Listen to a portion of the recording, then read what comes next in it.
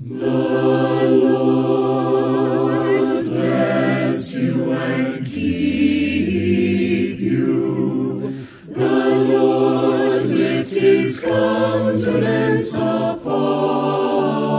you and give you peace. And give you peace.